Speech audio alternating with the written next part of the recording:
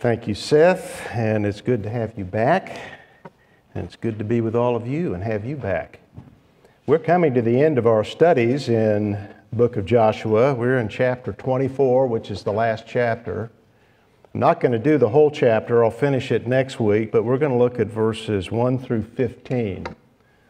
So I'll read those verses. Before I do, though, I want to comment on the hymn we just sang. Elizabeth tries to coordinate the hymns with the text, and she does an excellent job of doing that. Uh, and this hymn reminded me of the very things I'm about to read to you in this third stanza. In his hands he gently bears us, rescues us from all our foes. Well, that certainly is the message of Joshua to the nation in this final address that he gives to them. And while he doesn't say he bears them along or carries them along, that's certainly what he did. And I'll even bring that out in the lesson. But he certainly conquered all their foes, and, and that's uh, what Joshua will remind them of their complete dependence on the Lord. And so let me read it, and you'll see this, I think, as, as I do, but certainly it will bring it out in the lesson itself. Joshua 24, beginning with verse 1. Then Joshua gathered all the tribes of Israel to Shechem and called for the elders of Israel and for their heads and their judges and their officers, and they presented themselves before, the, before God. Joshua said to all the people, Thus says the Lord, the God of Israel From ancient times your fathers lived beyond the river, namely Terah, the father of Abraham and the father of Nahor, and they served other gods. Then I took your father Abraham from beyond the river and led him through all the land of Canaan and multiplied his descendants and gave him Isaac. To Isaac I gave Jacob and Esau. And to Esau I gave Mount Seir to possess it. But Jacob and his sons went down to Egypt. Then I sent Moses and Aaron, and I plagued Egypt by what I did in its midst. And afterward I brought you out. I brought your fathers out of Egypt, and you came to the sea and Egypt pursued your fathers with chariots and horsemen to the Red Sea. But when they cried out to the Lord, he put darkness between you and the Egyptians and brought the sea upon them and covered them. And your own eyes saw what I did in Egypt, and you lived in the wilderness a long time. Then I brought you into the land of the Amorites, who lived beyond the Jordan, and they fought with you and I gave them into your hand. And you took possession of their land when I destroyed them before you.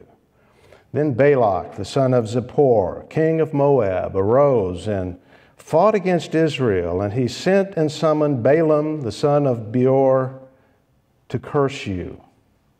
But I was not willing to listen to Balaam.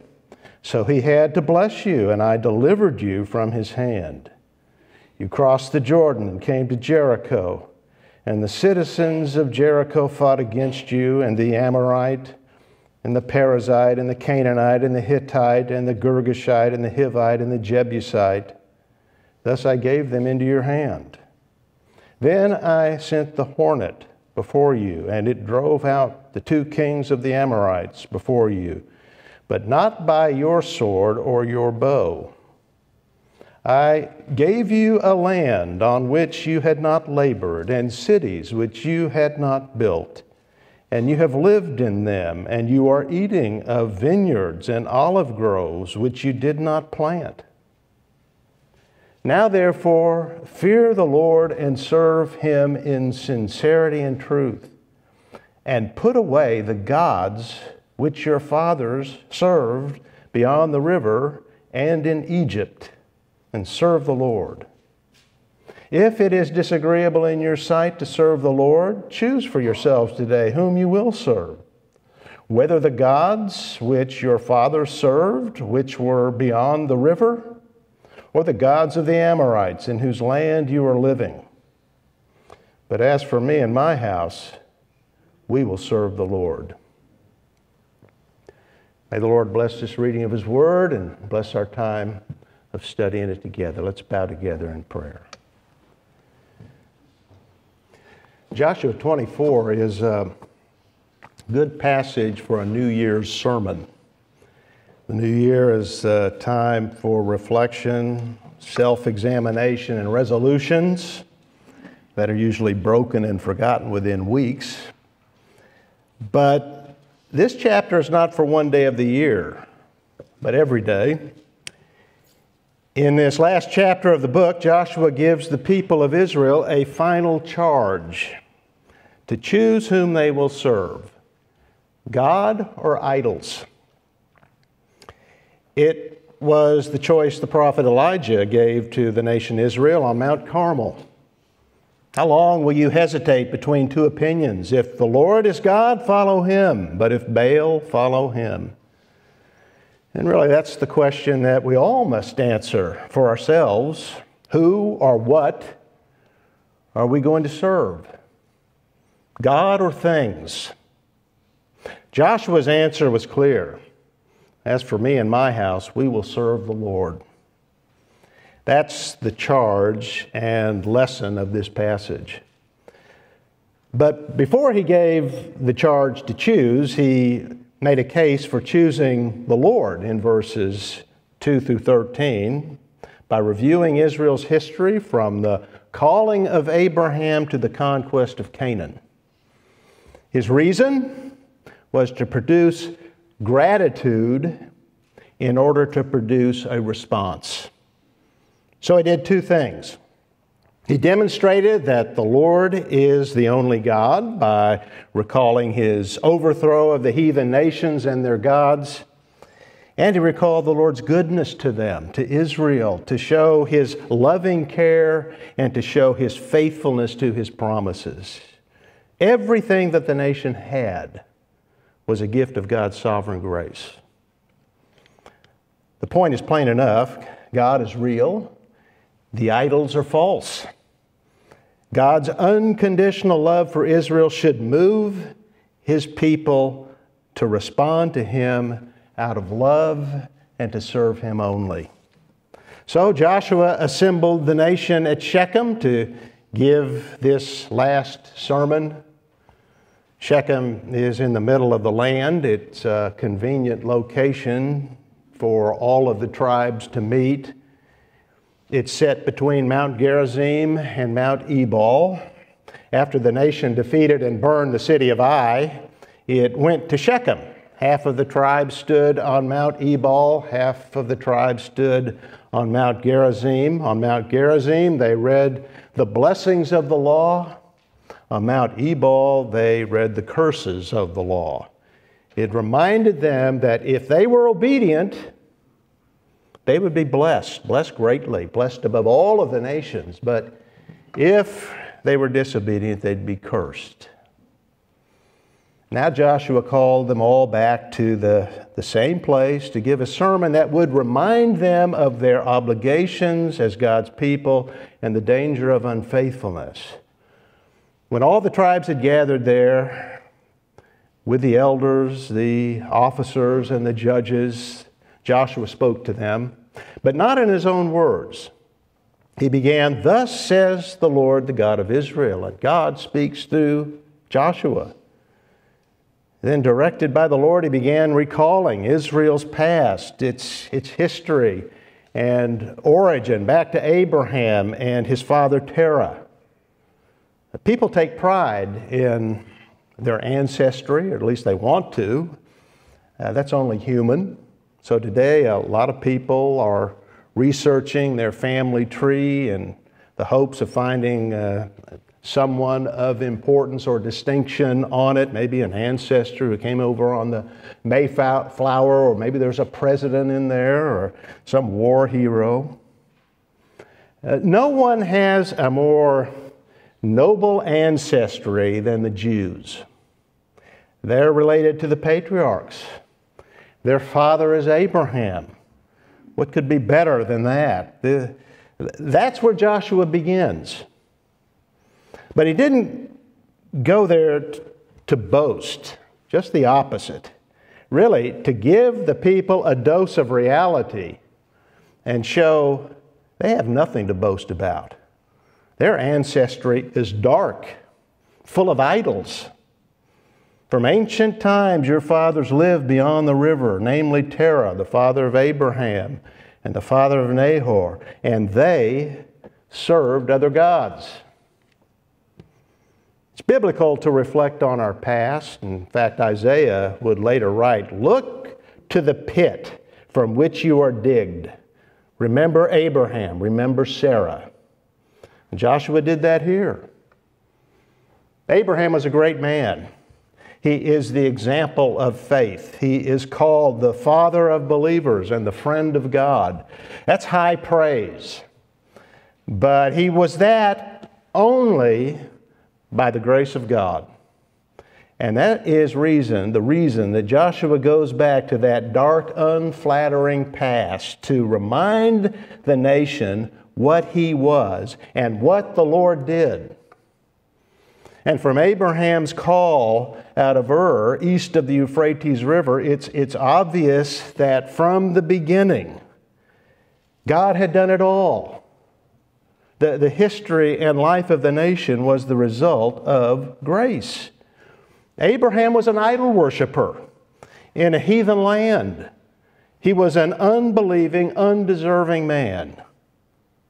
Yet the Lord did not leave him there. For some reason, unexplained, at least unexplained here, he called him out.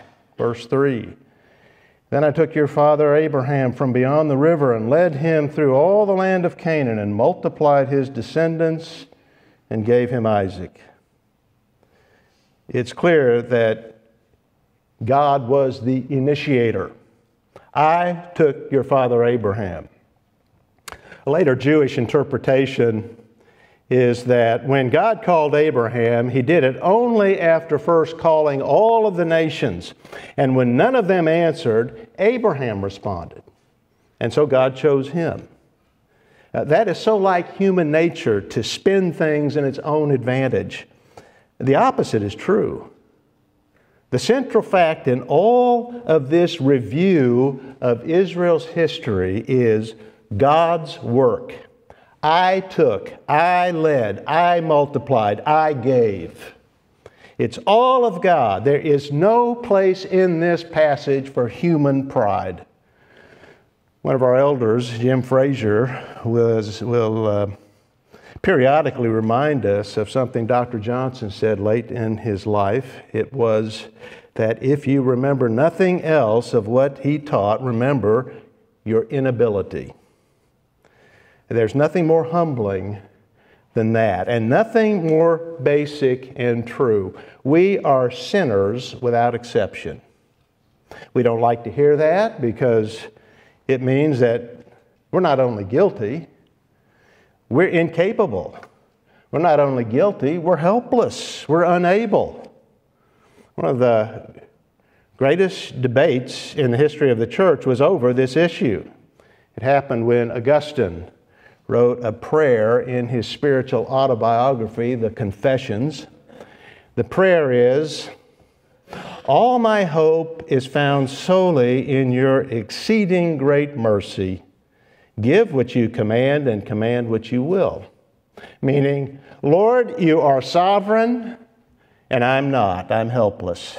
I cannot do what you command unless you give to me what you command. Then command whatever you will, and I will obey. In other words, Lord, I can't do anything good apart from your mercy. Give me mercy. Well, there was a British monk who came to Rome and had an influential ministry there. His name was Pelagius. Now, we had a Sunday school lesson a few weeks ago on much of this very thing that I'm saying here. It's an excellent lesson. I'm reminding you of that. Pelagius was a man of self discipline, a man of piety. In fact, Augustine had respect for him because of the morality that he urged upon the church. But when he read that line in the Confessions, he became furious. Of course, we can do good. Of course, we can do what God commands. If He commands us, we can do it. He wouldn't command us if we didn't have the ability. We have the ability to obey. In fact, Pelagius said we can even become perfect. He was what Bunyan would call Mr. Legality and Mr. Morality. We earn God's approval by our deeds. Well, it, it, set off a debate that continues down to this day between those two who believe, uh, these two kinds of people, those two people and people like them who believe in either total inability or believe in human ability. Sovereign grace versus human merit. This has always divided men. It divided two men in the temple that Jesus spoke of in Luke chapter 18 the Pharisee and the publican.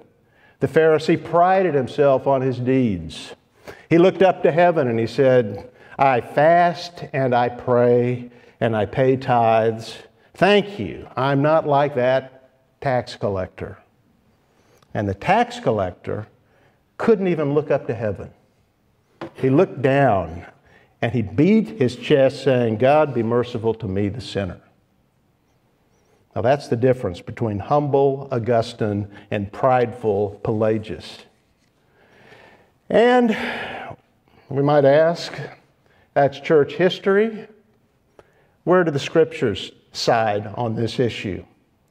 Well, there are many texts that I could read to you, but Ephesians chapter 2, verses 1 through 5. And you were dead in your trespasses and sins, but God made us alive together with Christ Jesus.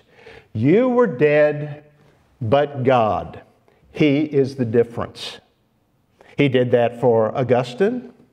He did that for the tax collector. He did it for Abraham when he was lost in Ur worshiping idols. He shined his light into his dark heart and he made him alive gave him a call, commanded him, and gave him the ability to respond in faith. Remember your inability and God's great grace to make us able. He made Abraham and Sarah able. They came out of idolatry and he led them out of Ur and into Canaan. Then the Lord blessed them with descendants.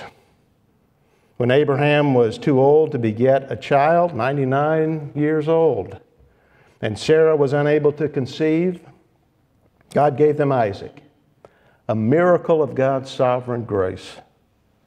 Again, Joshua recalled this for Israel so that they would think on what they should think upon, and that is God's grace, and would be moved by that to gratitude and devotion and to worship Him.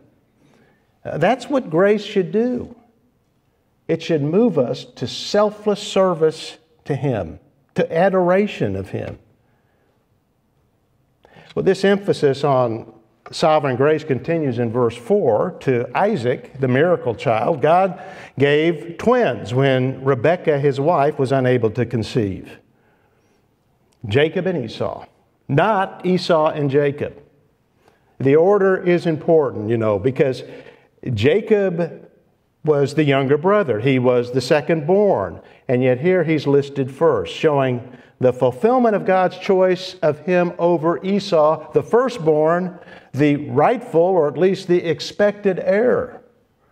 Paul develops this in Romans 9, verse 11, that while the two were still in the womb, before either had done anything good or bad, there's nothing in them to uh, influence God's choice, in other words. They'd done nothing, good or bad.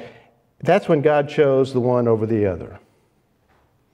So again, there's the reminder of the nation's origin in God's undeserved love, in God's sovereign grace. Jacob, through whom Israel tra- traces its descent, was no better than his brother Esau.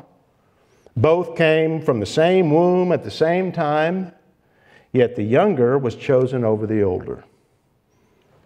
That's sovereign grace, distinguishing grace, not heritage or merit or deeds, just the opposite. God was good to Esau. He didn't neglect him. In fact, he gave Esau just what Esau wanted. He gave him Mount Seir to possess, which is Edom. But Jacob and his sons went down to Egypt, Joshua says. Now, where's the grace in that? The Lord gave Esau a place, He gave him a nation, He gave him a people, but He gave nothing to His chosen people, at least not immediately. Instead, He led them into a foreign land down to Egypt. It was a place of affliction. Moses called Egypt the iron furnace, a place where Israel was enslaved and without any appearance of being the elect people. But it was in Egypt that they grew into a nation. And through affliction, they were given the desire to leave that land and to go to Canaan. Affliction is not a sign of rejection or disfavor. Uh, it, it is an evidence of God's choice of us. It's an evidence of sonship. Often God puts His elect into the iron furnace, not for evil, but for good. Even there in Egypt, in some lonely place where He may place us, He is with us. He is refining us. He is preparing us through all of that to come out of this world and into the promised land, into the heavenly land, teaching us that this world is not our home and we're not to invest in this place and live for this place. He did that for Israel. And at the right time, the Lord says in verse 5 I sent Moses and Aaron, and I plagued Egypt by what I did in its midst. And afterward, I brought you out. Verse 6 I brought your fathers out of Egypt, and you came to the sea. And Egypt pursued your fathers with chariots and horsemen to the Red Sea. But when they cried out to the Lord, he put darkness between you and the Egyptians, and brought the sea upon them and covered them. And your own eyes saw what I did in Egypt, and you lived in the wilderness for a long time. That's all a summary of the miracles of the Exodus, really, uh, first 40 years from the Exodus to coming into Canaan. But enough is said here to remind them of God's almighty power and His great mercy. You lived in that desert for a long time, and it was to bring to reflection how God provided for them every day, every morning, every evening. At all 24 hours, He took care of them. And what a testimony this is. Israel, in contrast to Egypt, a nation of slaves, overcame an empire and its army. That, that can only be explained as supernatural. They were slaves, but God gave them freedom. And so it is for every believer in Jesus Christ. We're not where we are because of any wise and godly heritage that, that may have an influence. In fact, there's no greater blessing for a child than to be born into a Christian home and come under the wisdom and influence of Christian parents. That very, very often has a great, glorious outcome. It's a great blessing, but it's not spiritual credit put to our account. We don't live on the faith of our parents or our grandparents.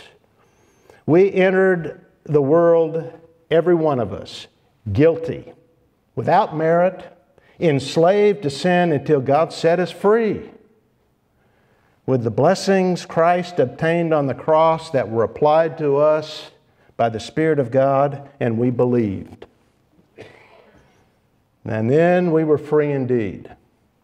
John Newton, the former slave trader, reminded himself of that every day, reminded himself of the grace of God that snatched him from that horrible profession and made him a child of God and made him a great preacher of the gospel and hymn writer.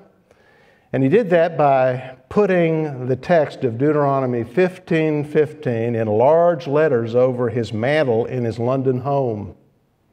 Thou shalt remember that thou wast a bondman in the land of Egypt, and the Lord thy God redeemed thee. Well, he did that for all of us if we're believers in Jesus Christ. And having redeemed Israel, set them free, he then gave them victory after victory. And in verses 8 through 10, Joshua reviews their conquest of the kings east of the Jordan River.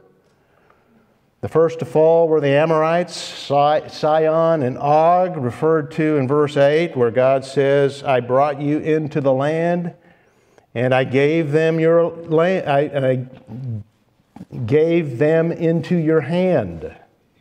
Again, emphasis is on what the Lord did. He brought, He destroyed. So Israel occupied. When the Moabites tried to fight Israel with magic and hired the false prophet Balaam to curse the nation, God turned his curses into blessings. Well, that's not only an example of God's greatness, the greatness of his power, but of his goodness. The goodness of his purpose toward them, the goodness of his purpose toward us. He will use the enemy's attacks on us for our good. He turns a curse into a blessing. The greatest example of that is the cross. It was Satan's attack on Christ, it was Satan's attack on us, on the elect, but it became the Lord's triumph over the devil. It's where he defeated, defeated him and sin and won our salvation. God turned the enemy's curse into our blessing. Christ's wounds into our healing. And Joshua reminds Israel of that blessing of God on them. God gave victory over the enemy east of the Jordan and west of the Jordan. Verse 11 You crossed the Jordan and came to Jericho. And the citizens of Jericho fought against you, and the Amorite and the Perizzite and the Canaanite and the Hittite and the Girgashite and the Hivite and the Jebusite. Thus I gave them into your hand. Well, that's a, a, a, summary of the first 12 chapters of the book of Joshua. But again, eh, the emphasis is on the Lord's victory. I gave them into your hand. And as he said in verse 12, it's it's not Israel's skill with the, the sword and bow. The land that these armies of Israel gained was a gift of God to them. And to impress that on the people, God, uh, God, describes Canaan according to the promises that He made in Deuteronomy chapter 6, verses 10 through 11. And Joshua summarizes that in verse 13 I gave you a land on which you had not labored, and cities which you had not built, and you lived in them, and you are eating of the vineyards and olive groves which you did not plant. God promised that before they entered the land, and He delivered. That was His gift to the people who originated in idolatry beyond the river. His gift was both generous and undeserved. So now Joshua arrives at the, the principal point of his address. If these things are so, and the people had witnessed all of them, then they call for a response of faith and obedience. Call for a, a response of of not simply obedience outwardly, but inward obedience, a call for a response of devotion. Verse 14 Now therefore, fear the Lord and serve him in sincerity and truth, and put away the gods which your fathers served beyond the river and in Egypt, and serve the Lord. What an amazing statement put away the gods. They were carrying idols. Now, this was the faithful generation. They weren't like their fathers who had worshiped the golden calf and wanted to go back to Egypt. This is the generation of Israelites that was faithful. They had witnessed all of the amazing things that Joshua recalled here. They had experienced God's provision and protection all their lives. Every day, God had sustained them in the wilderness with manna from heaven. They called it the bread of angels, angel food. He gave them water to drink in the desert. They witnessed His power. They experienced His faithfulness every day. And all along, they were carrying idols, false gods. They had a divided heart. So now Joshua says, Enough of that. Throw away the idols and serve the Lord. But then he adds in verse 15 if that is disagreeable to you, if serving the Lord is not appealing, if you like the false gods, then you must choose whom you will serve. Now, listen. The question is not, will we or won't we serve? It never is. We all serve. The question is, what will we serve? We either serve the Lord or we serve a false God. We either serve the Lord or an idol or our lust or our appetites, but we all serve. Joshua was experienced enough as a preacher to know he couldn't make them do the right thing. All he could do was give them the Word of God. All he could do was remind them of the truth and point them in the right direction. They had to choose. So he, he told them to do that. Make your choice. The gods of Abraham, the gods that he left behind at the river, the gods they were carrying through Canaan, or the true God who was carrying them. Choose today, he said. And that really gives the lie to the objection against Augustine's prayer, the kind of objection we often hear against uh, inability of, uh, of man, against uh, the doctrines of predestination and election. The objection, which is, well, that makes us robots. Can't be. Can't be true because otherwise we'd just be automatons. Well, that's nonsense. No one believes that. That's what you call a straw man, a, a false representation of the truth. Everyone uses their mind. They process truth, they, they make decisions, and, and those decisions are real decisions, genuine decisions. People reflect upon something and then they make their decisions and they act upon that. The problem is no one can make the right decision apart from the sovereign grace of God because sin has so affected man's mind and man's will that it is in effect bent toward evil, not good. And man can't straighten it out. And so he naturally understands and acts upon that bent mind and will and chooses wrongly all the time. As a result of that condition, our mind is darkened. We're described as blind. We can't see. We can't understand. Nevertheless, we are responsible to believe. And there is power in God's Word. It penetrates the darkened heart. It gives light and ability. It's supernatural. But that light breaks upon the heart of individuals and, and they see the truth. Joshua gave truth, he gave light, he told them to respond. And people do. This is how they do respond. They hear the Word of God, they hear the truth of God, and it has an effect because it's a supernatural Word. And that simply means that the Word of God, the Bible, is attended by the Spirit of God. He's always at work in it. That's the miracle. People respond. Light comes into darkness. That's the invisible power and work of the Lord in the heart of man. And it is what the Lord said himself in Matthew 19, verse 26, after telling the disciples that it, it's easier for a camel to go through the eye of a needle than for a rich man to enter the kingdom of God, they were astonished, these disciples. The, the rich were those whom heaven had smiled on, the, the people with all of the advantages and the privileges one could have. And so they said, then who can be saved? If the rich can't get into heaven, what about us poor souls? Us lowly fishermen and tax collectors. And Jesus answered, With people, this is impossible, Well, there's, there's the inability of man. He, he could not have put it any more forcefully, more even than Augustine did in his prayer. Impossible with man. But he added, with God all things are possible.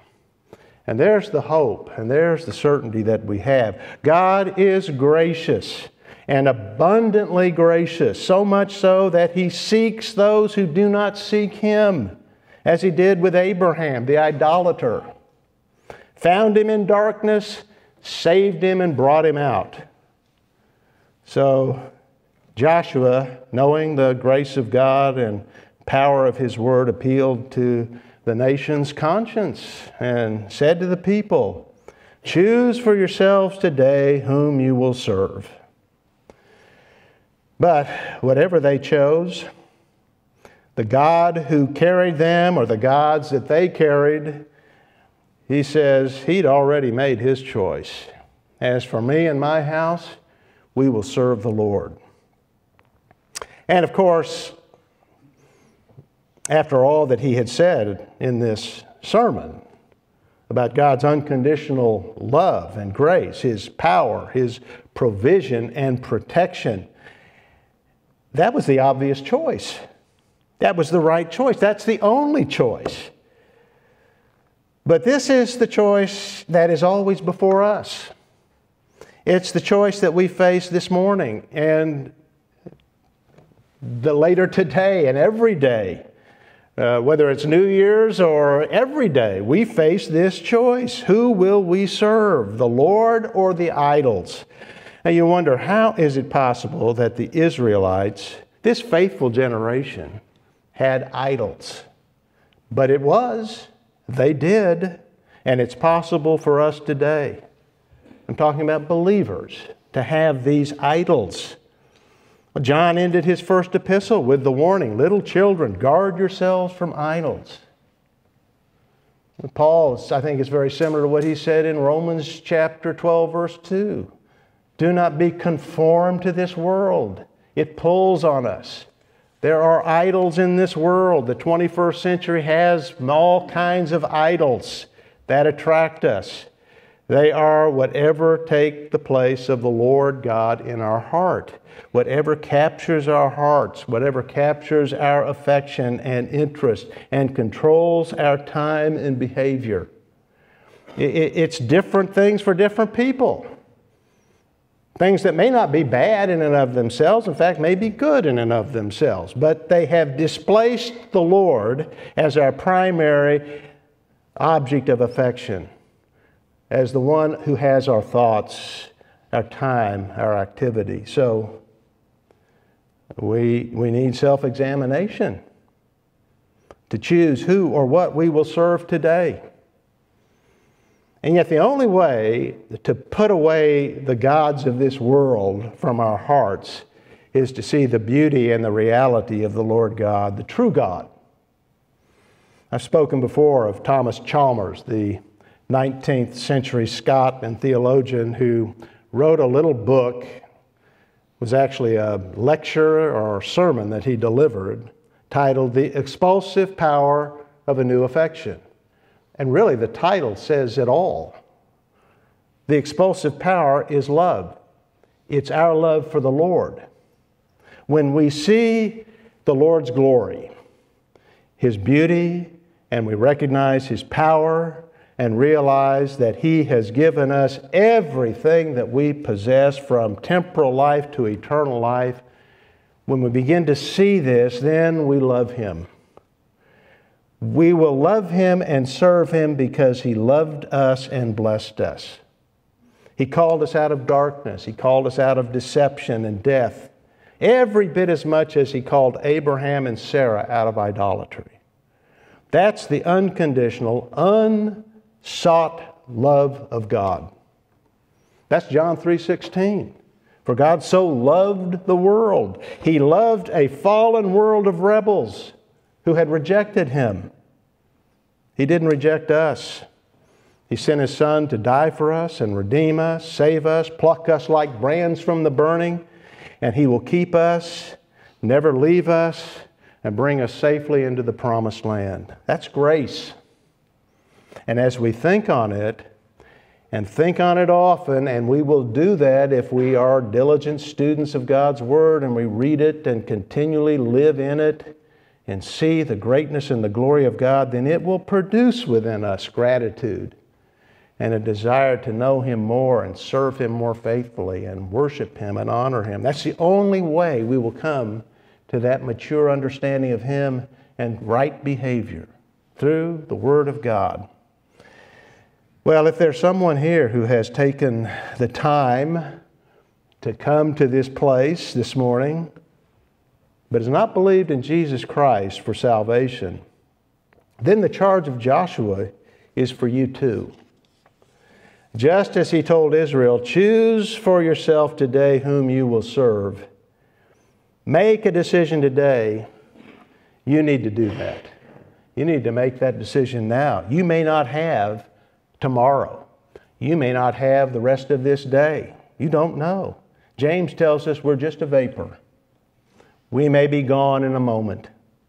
So choose today whom you will serve. Trust in Christ, the Son of God and only Savior of mankind. He died for sinners in the place of all who trust in Him. So look to Him. Believe and be saved. That's what He invites the sinner to do, and it's all that we can do. Believe in Him, rest in Him, and then you will be able to do like Joshua serve the Lord. Let's bow in a word of prayer and, and then we will seek the Lord's blessing on us as we take the Lord's Supper. Let's pray. Father, we thank you for your goodness to us. We thank you for this great text of Scripture, this great challenge that Joshua gave to the nation. And it's for us as well. We are so tempted by the things we see around us, and, and we invite that stuff into our hearts. We do so sometimes unwittingly. Before we know it, we're caught up in, in things that distract us from you. Maybe good things, but nevertheless, not the best things. So, Lord, we pray that you would arrest us and bring us into greater conformity to you and give us a greater love for you May we have a desire to read your word. And as we read it, would you, would you through the Spirit of God, enlighten us and give us a great understanding and a great love for you. You have blessed us beyond anything we can ever comprehend. But help us to begin comprehending it. Thank you for Christ. Thank you for this time now. Bless it as we remember him and his death for us. Pray these things in Christ's name. Amen as we prepare for the Lord's Supper, let's uh, stand and sing number 40, Arise My Soul. Number 40. We've been reminded again of the faithfulness of God to his promises, which he has exhibited from the beginning of time, is, is the sure confidence we have for eternity. And the Lord's Supper is an ongoing reminder to us of that. Uh, Dan has taught us more than once uh, the meaning of Joshua's name. It means the Lord saves or the Lord is salvation, and it corresponds to, you know this, the New Testament name uh, Jesus. We know from the birth narratives of the Gospels that the angel said to uh, Joshua, to Joseph, You shall call his name Jesus because he will save his people from their sins. And in the man Joshua's total devotion, devotion to the Lord, he served as a useful type of the Lord Jesus, who, through his own devotion to the Father and his commitment to do the Father's will, uh, brought deliverance and victory uh, to all who belong to him. And we're going to see in the passage in Joshua next week. We hate to see it end, Dan, uh, but a choice made by the people. Joshua has called for that choice, uh, for a decision to be uh, rendered, to follow after the Lord and be obedient to Him. History will reveal that uh, decision to be weak in faith, faint at best. But in a similar fashion, when we observe uh, the Lord's Supper and when we partake of the bread and of the wine, we indicate ourselves that we have decided for Christ.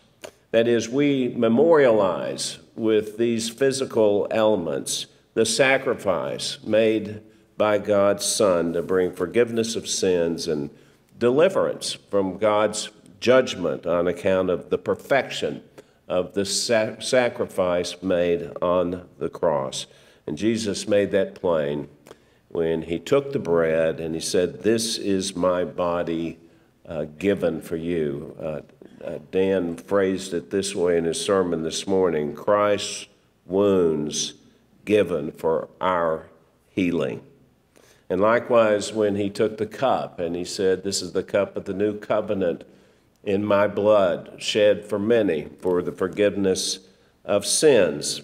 Uh, he identified his own blood poured out to death as the sacrifice that atoned for our sins. And that, that Jesus said, Do this in remembrance of me, is an enduring signal to all who would participate in his supper to understand what we are doing now uh, is a memorial to his person and work.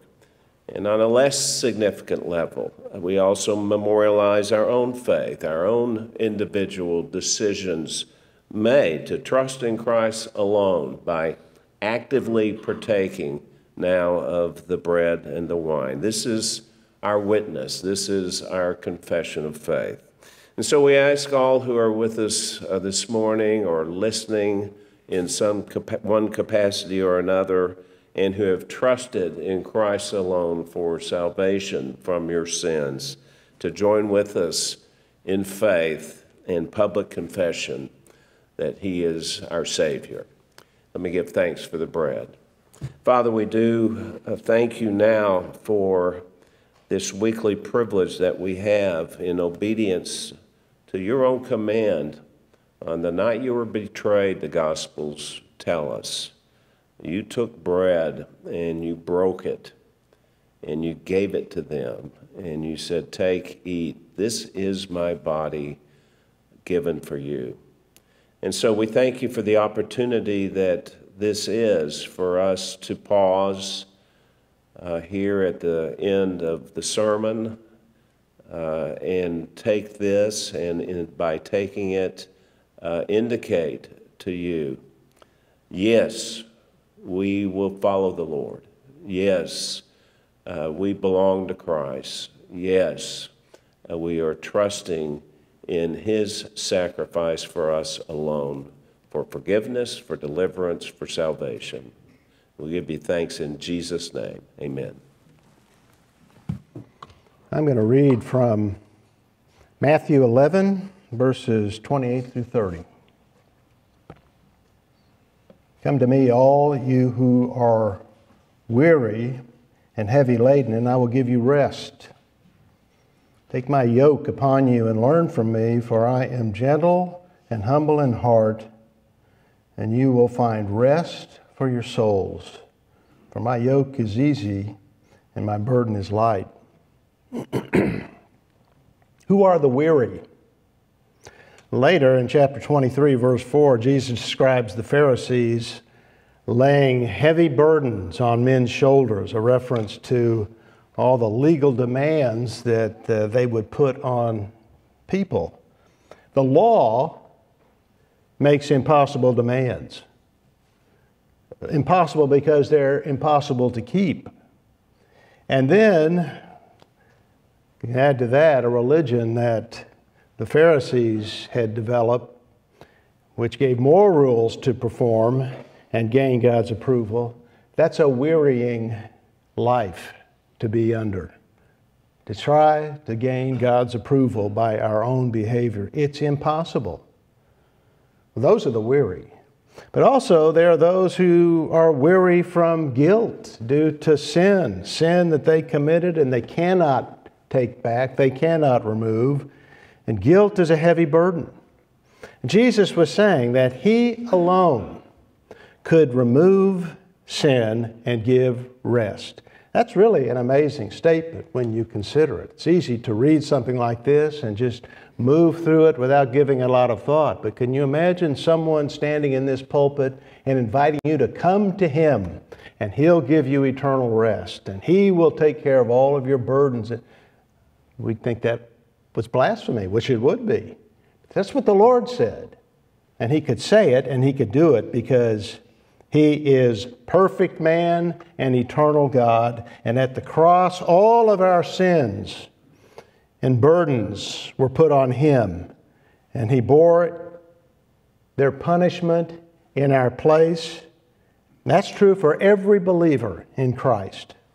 We now have rest from the toil of law keeping and the nagging guilt of sin. We can live free, we can live obediently. Because as sons and daughters of God, He enables us to do that. Well, that's what Christ gained for us at the cross. And that's what we're reminded of, in part, by the cup.